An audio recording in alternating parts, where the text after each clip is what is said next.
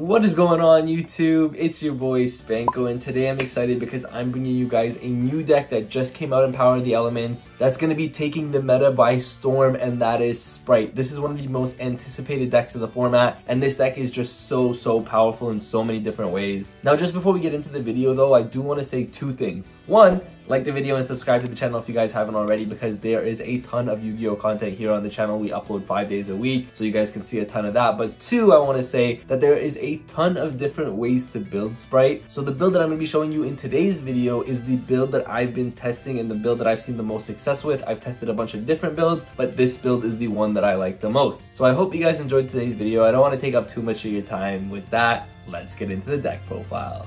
Okay, so just before we get into the deck profile, I do want to say one thing. This deck, there's so many ways to play it, and the reason for that is because there's so many level 2, rank 2 engines in the game, so you can do so many different things. I've seen the Nimble package, I've seen, of course, you guys are seeing here the Diva package. There's so many different packages, so every deck profile you're going to see is going to be a little bit different. However, I do want to say that I've been testing with a bunch of different builds, and this is the build that I've enjoyed the most, I've had the most success on, and this is a build that I think is very, very powerful. So I just want you guys to keep that in mind because I think it's very important to know that Spright, there's so many different builds for Spright. So this is just what I've been doing and what I've been thinking is the most powerful for me, right? So here we're playing three Spright Blue, of course. And for anyone who doesn't know, I'm just going to explain this real quick. All the Spright monsters have the same effect, where essentially if you control a level or a rank 2 monster, you can special summon them from your hand. And then they all have a separate effect when they're special summoned. Blue has the effect to search any Spright monster from your deck. So this is essentially a ROTA from your deck, which is really nice nice. And then you have three Spright Jet. Jet searches a spell or trap card from your deck. So of course here, just uh, right there, you have six searches in your deck, which is so insane. This deck is so consistent. And these cards just make it even more consistent, of course, right? You have a Monster Searcher, Spell Trap Searcher, and then we're playing two red as well as one carrot. What these ones do essentially is red is a monster negate and carrot is a spell or trap negate. So not only does this deck have its own consistency, it has its own built-in negation, which is really, really good. So that's why we're playing two red and one carrot. And then since we were talking about consistency, let's get even more consistent because we're playing three Spright starter. It's obviously just a starter for the deck, but on top of that, it's an E-Telly essentially. That's a really cool thing about this card. It's an E-Telly for the deck, and any deck that essentially has a built-in E-Telly is just so powerful. So Spright starter, of course, just boosts the consistency even further. You guys can see you have a Monster Searcher, Spell Trap Searcher, just an E-Telly. So this Spright engine is always going to be accessible, and there's just so many powerful cards in this engine. But speaking of powerful cards, I am playing two Spright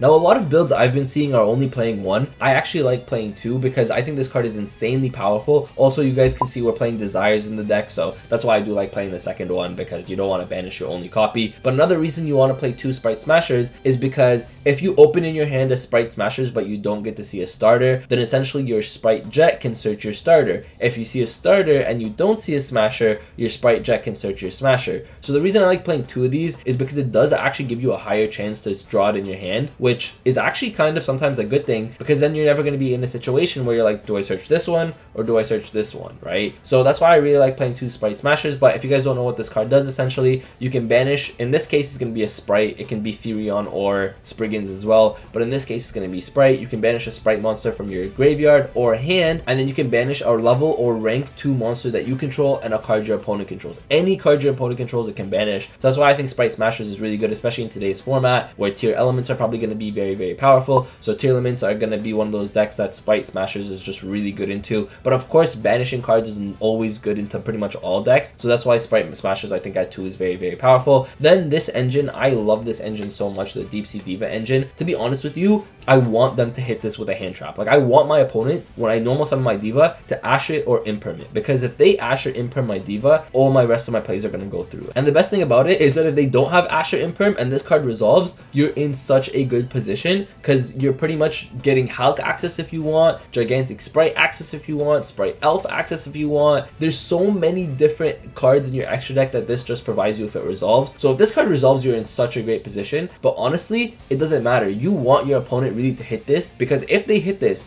keep in mind, like I said earlier, all the spright monsters can be special summoned just if you control a level 2 monster. So if I go normal summon Deep Sea Diva, and they go imperm. And then I go, okay, special spright blue, spright blue effect. And now my full combo still goes off because I can get access to my gigantic spright and I don't have to worry about this getting hit with an imperm. I don't have to worry about my spright elf getting hit with an imperm. So that's why it's just kind of one of those things where Deep Sea Diva is just such a good card because worst case, but also kind of best case, it gets hit with a hand trap. If it gets hit with a hand trap, you are still good to go. And then of course we're playing the frog package. The frog package is just way too strong three swap frog, one dupe, as well as one Ronin. I tried at one point to play two dupe, funny enough, because I was like, hey, what if we dupe lock our opponent? But uh, yeah, no, that never really came up. So yeah, one dupe is perfectly fine. Three swap, one dupe, one Ronin. I think this is pretty self-explanatory. Then the rest of the cards, because as you guys can see, this engine right here is just so much consistency. So the rest of the cards are just essentially just to beat the meta. So here we're playing three Ash Blossom. Of course, Ash is the most generic hand trap. It's good into pretty much anything. But one hand trap that's going to be really good in today's format is three DD Crow. So if you think about one of the decks that's going to be meta and I think is going to be very, very good this format is Tearlaments and they need their cards to be in their graveyard to fusion summon and resolve properly. So DD Crow is going to be one of the best hand traps into that deck. But DD Crow generically is just really good into a lot of decks other than Exosister, I guess, because if you DD Crow a Despia player on their branded in red, then they can't resolve that. Even stuff like Sword Soul, where DD Crow might not be the greatest into Sword Soul, if they only have one Wyrm Monster and they normal summon a Taia, if you go DD Crow on that Wyrm Monster, their Taia is useless. Or if they try to set up the Tenyi package and you see that they have a Vishuddha in the graveyard or an Ashuna in the graveyard, you don't want to resolve, you DD Crow it. DD Crow is just one of those cards that's just so good into so many different decks. Other than against Exosister, you have to be playing this against any other deck essentially. And then obviously if you do play the Exosister matchup, you just side them out. So yeah, you're playing 3 DD Crow, this card's nuts. And then we're playing 3 Gamma and 1 Driver, of course. Now, the reason I like to play 3 Gamma and Gamma is just so good is one, it's a level 2, which is really good obviously just for your sprite monsters in itself. But also, we have 3 emergency teleport. 3 E-Tele means I'm always going to have access to Gamma. Now, what's really cool, and I've had this happen before, is I've activated E-Tele right? My opponent will go Ash or something like that on it, and then I'll go Gamma because I already have a Gamma in my hand. So now my Gamma is going to resolve, my E-Tele is going to resolve, so essentially I'm going to have two Gammas and a Driver on my side of the field. Two Gammas essentially gives me access to this Gigantic Spright if I needed to, but it also gives me access to Omega as well, it gives you access to Hulk as well, so I really like the Gamma package, especially like with Spright Starter, there's just multiple different things that your opponent can activate a hand trap on that you can Gamma, right? And then here the next card that I was going to talk about was Pot of Desires, because if I go Desires, that's a card that's most likely going to get ashed. A lot of people like to ash Desires, and then you go Gamma, right? So there's a lot of cards in the deck that Gamma is just so good protecting essentially, but going second Gamma is also really good. And I completely skipped over Called By. We're playing one Called By. I think this card is just way too nuts in today's format, or in any format in general, to be honest with you. So we're playing the one Called By, and of course, like I said, the three E-Tele, the two Pot of Desires. These are very good cards that are gonna get you access to your starter. So like, if you go Emergency Teleport with any Spright monster in your hand, you essentially have your full combo anyways, right? So not only are you playing three Spright starter, which is an E-Tele for sprights, you're also playing E-Tele for Gamma. So this deck is just so consistent in that sense. And then we are playing three Forbidden Droplet. It's 41 cards in the main deck. The 41st card was the second Smashers. I was playing 40 forever, but I was like, man, I really want the second Smashers. Couldn't cut anything else, so I was like, you know what?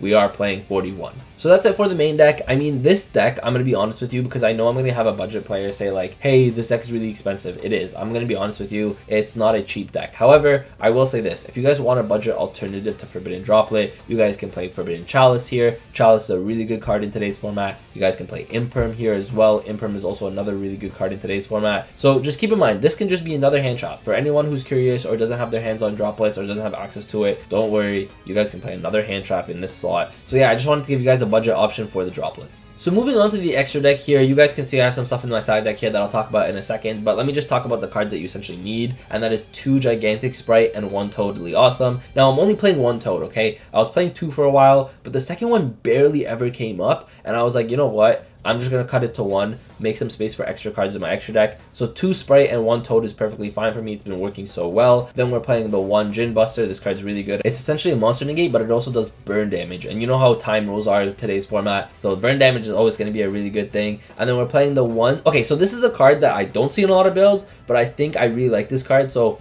it's called Obinamaru or Onimaru. I'm saying that wrong, I'm gonna be honest with you. But I'll read its effect real quick. You can detach a material from this card target one monster your opponent controls, and then banish it until the end phase. That's really good into a lot of boards. It's essentially just a banish on summon. And then if this card is destroyed, you can target banish monsters up to the materials it had when it was destroyed and shuffle them back into the deck. So essentially you're getting rid of your opponent's cards just with this effect. But the nice thing is it takes two plus level two monsters. So you don't have to use two. You could potentially use three and then just banish and shuffle more cards back. So that's a really cool thing about this card. I really, really like it. It's one of those cards that people aren't playing, but I think it's really, really good when it comes up. And then we're playing, of course, one Cat Shark. We're playing one Centuria as well as the Zeus. So that's it for the Xyz monsters. I really like this lineup. I don't think I would change it up. And then we're playing two Spright Elf, of course, one Dark, one Phoenix. Phoenix is really cool because you can pop a back row, but then use the Phoenix for a gigantic Spright. So that's why I really like playing the Phoenix. One Hulk. Hulk just gets you extra bodies on board. Like if you go into Hulk with your Diva, you can summon another Diva from your deck, and then you can keep going from there. So I do like playing the Hulk the one Almiraj, as well as, of course, the one Omega. For anyone who doesn't know, Almiraj is really important for the Frog combo. It kind of makes Swap Frog like a one-card combo, so that's why I'm playing the Almiraj. But I want to say this, okay? So there's another thing that I wanted to mention, and you guys can see it here. I was trying IP with Unicorn and Access Code instead of Dark Nightmare as well as Hulk, right? Because there's a lot of cool things that people do with Hulk. I just wanted to use Hulk here as an extender. I didn't want to commit to a full Hulk package. But I do want to say that these three cards right over here originally were these three cards because IP is just so good, especially to make like a unicorn. And then when it comes back to you, you go to access code.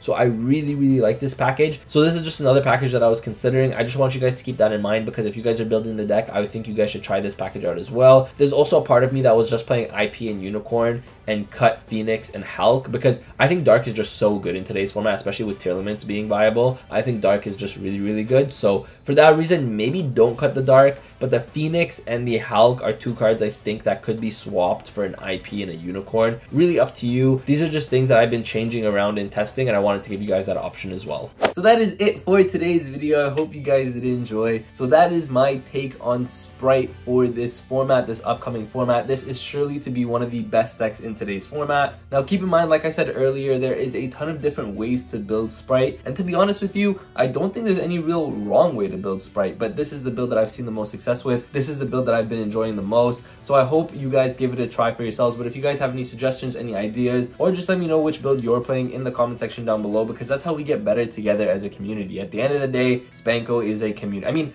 I'm Spanko, but we, the Spanko Squad, are a community and we want to help and grow together. So that's how we get better together. Thank you guys all for watching. Make sure to like and subscribe if you guys haven't done so already, if you enjoyed the video, because there are a lot of deck profiles to come, a lot of combo videos, duel videos, product openings, all that good stuff. We upload five days a week here on the channel. Thank you guys all for watching. I appreciate every single one of you. And with that, Spanko signing out. Peace.